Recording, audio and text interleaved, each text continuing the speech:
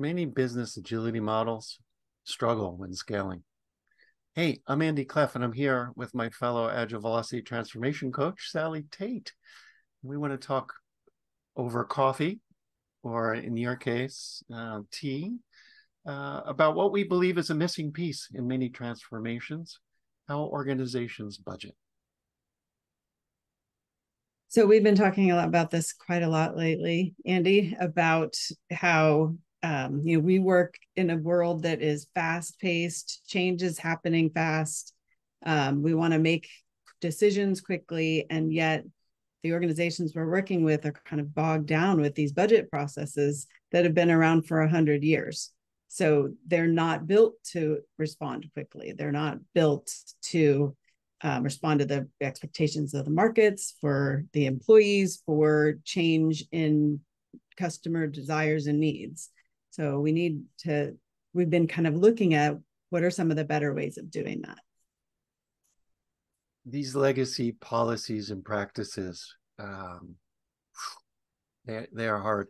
You and I, we read a book, um, Bjarte Bogsnes's book Beyond Budgeting, and he borrowed a quote from Russell Ackoff that I just love. And and when we were doing the book club, we we repeated it back as one of our favorite quotes. So let me read it aloud. Um, quote: Most corporate planning is like a ritual rain dance. It has no effect on the weather, but those who engage in it think it does. Much of the advice and instruction is directed at improving the dancing and not the weather. It's so true. It's so true. And and worse yet, um, as we we look into these legacy practices, um, they feed an incentive system that does not reward what we're looking for as collective improvement. Um, they tend to to cement, if not even incentivize, unhealthy behavior. And and so the things that we love about um, agility is the boldness um, and trying new things. But these old systems, um, they perpetuate the past. Um, they they allow people to engage in in lowballing, sandbagging, resource hoarding, um, and and the favorite that frenzied end of year spending. That if you if you don't use your budget, you lose your budget. So it sort of um, makes us all scratch our head. Why do we budget in the first place? Can you remind us, Sally? I've I've lost the purpose behind budgeting. Right? It's it's necessary, right? Yeah. From an yeah. individual point of view and a corporate point of view, but what's the real goal? Well, the main goal is to decide how we're going to spend our money, right? Like how are we going to spend it so that we get the best bang for our buck, so to speak. Um, and so when we think about that, we need to think about, um, sorry, I lost my train of thought. Um, so we need to think about how and where we spend the limited amount of time we have, the resources that we have, um, the effort and money, um, so that we can maximize our business outcomes. We want to get to those business outcomes.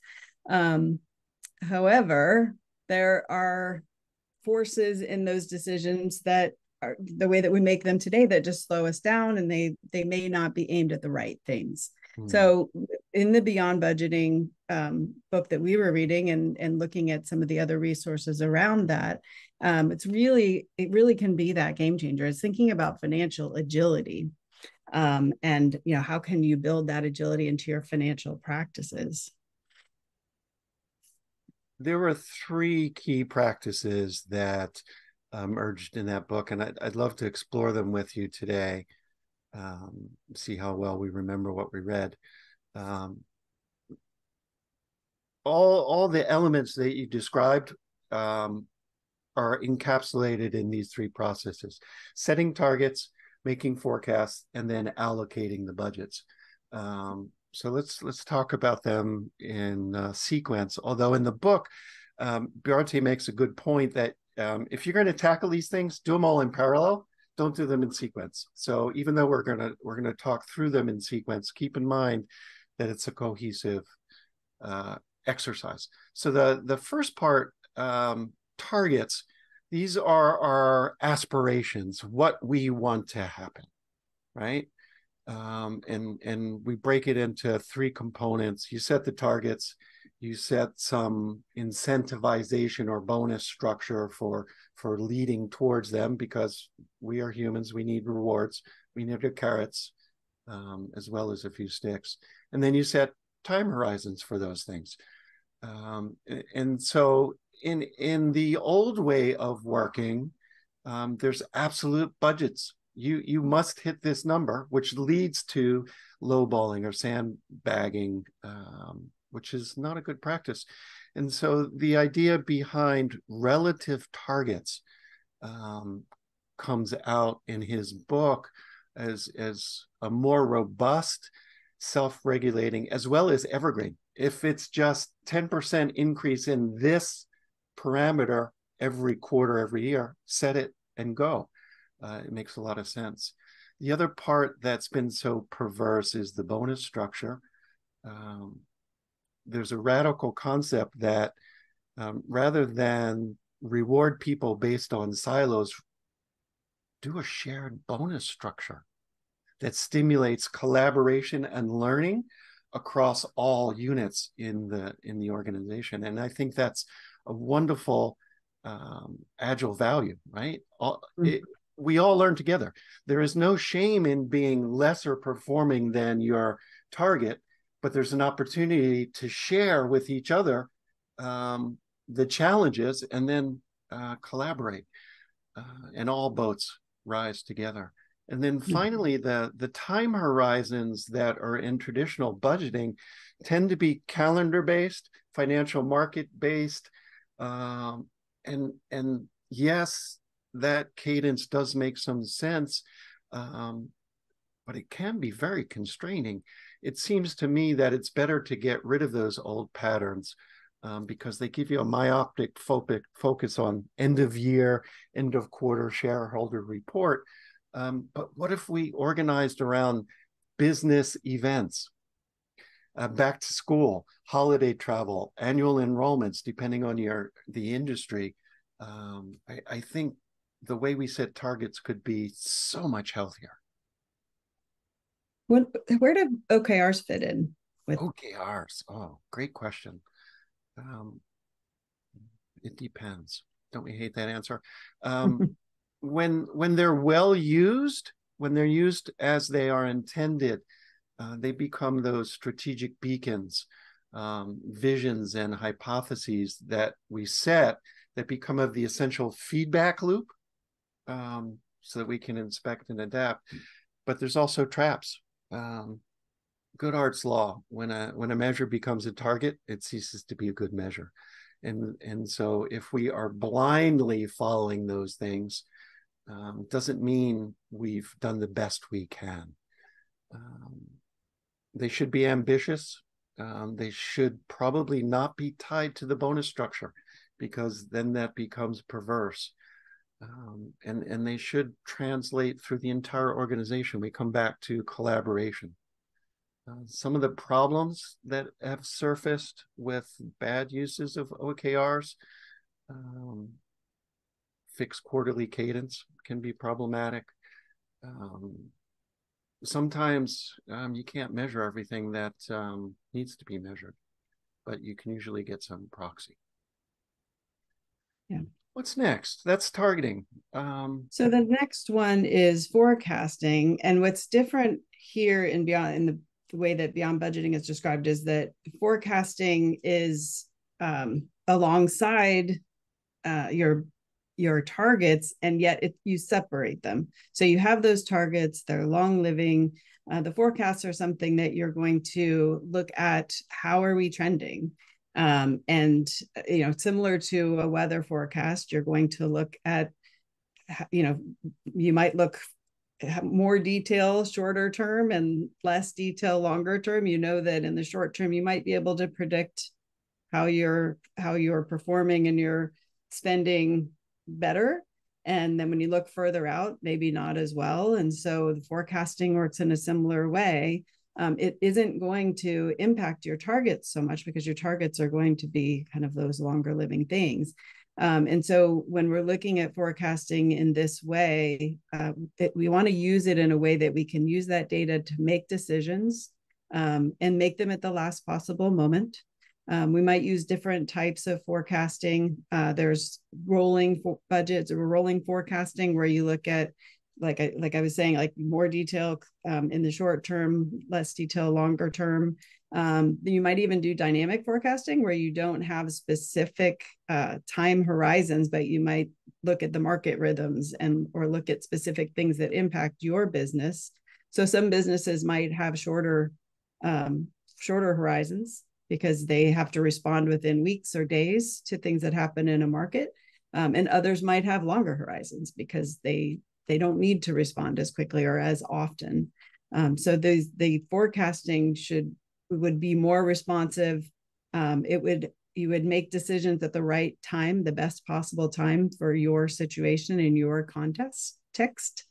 Um, and uh, yeah, so I mean, those are the types of things that you want to think about when you're looking at forecasting. It's not just you know your traditional budget where you've got your target you've got your forecast and you're looking at it monthly and you know on a specific you know might actually inform each other these are different things and separating them gives you a, a more agility in the way you're making your decisions yeah um, we've had internal conversations about different forecasting methodologies and and one that we're loving and we won't have time to dive in today is probabilistic forecasting.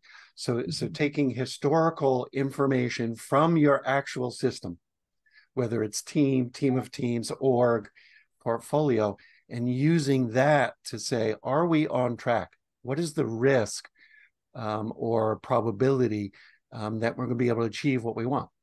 Looking mm-hmm. at cycle time for an individual thing, whether it's a story, a feature, an epic, or throughput to look at uh, multiple items um, and so I think that's really powerful combined with a relative target setting and then uh, forecasting and looking at the planet. It allows you, uh, as you said, to take meaningful action at the last responsible moment. You're walking mm-hmm. out the door. Um, do we need an umbrella or not? Is it raining? Right. Cool. so that's two out of the three. What's third? So the third as right. allocation exactly so in traditional budgeting you have this bucket of money you, you know every you go through these long annual cycles which actually lasts about two years from the time you kind of decide what it's going to be in july for the next 18 months um, and that's your bucket of money for the year and so and then everyone gets their bucket and it's their money and they spend it however they decide. Sometimes they hoard it sometimes they share it and sometimes they have a whole lot at the end. You were mentioning that oh i have so much money now i can just buy a whole bunch of equipment that maybe i didn't need or or training that maybe was good but i waited to do it at this late moment. So instead of doing that the the spending and the allocation of that money is more dynamic um, and we optimize it for the the best things for our organization. So and as we're spending it instead of asking things like how much money do i have? and you know will i have enough at the end of the year? we ask is this the, value the, the, best way i can spend it for value? Um, is it uh, is it going to optimize the way that we're running our business? Those types of, th- of questions are the things that we're going to ask instead um, some of the things that this leads to is funding products instead of projects. So when we when we fund projects, sometimes we have decided on a long term spend that we may or may not know whether this is going to be valuable. Um, when we fund products, we can build in experimentation and we can make decisions on whether we want to pivot away from something that we learn early on isn't going to bring value to our customers um, we may decide to persevere through it and keep going. We're going to we're going to invest more into it. But those are easy decisions to make because we don't have to go back and see if there's enough money in the bucket because it's already funded. We funded the product itself. The people are funded. We've got long living teams um, who are aimed at delivering value to with that product and we can make decisions as we go along dynamically I, I love that concept of long living teams because of the the level of collaboration, not at the the smallest unit, the team, but the teams of teams, right? Mm-hmm. Um, people can come and go. So um, we've also had conversations about stable teams don't mean static, um, but they can respond to needs. But when there's that collaboration and trust, and combined with transparency and uh, overall incentives, I, it's the power to really unlock innovation uh, across the entire organization. And when you have innovation, it's going to drive customer satisfaction, employee engagement. Uh, it sounds wonderful. Yeah, absolutely. Mm. So we we talked about these three processes. We've got targets, we've got forecasts, and we've got resource allocation. And rather than doing them sequentially, one after the other, do them in parallel and do them separately. They're three separate processes. They're ongoing all the time. Um, and we're looking at them through their own lenses at different times. So we separate the purposes of them. And that way we can work on improving performance instead of managing performance, constantly thinking about how do we get better. Well, this has been great conversation. So our focus has been on budgeting and financing, uh, or budget budgets and finance. Um, there are two other critical pieces to business agility that come into play, and that's uh, they're they're HR related, people ops, performance evaluation, and the reward systems. Um, maybe that's a topic for another episode, Sally. Yeah, sounds great. Awesome. Let's do it.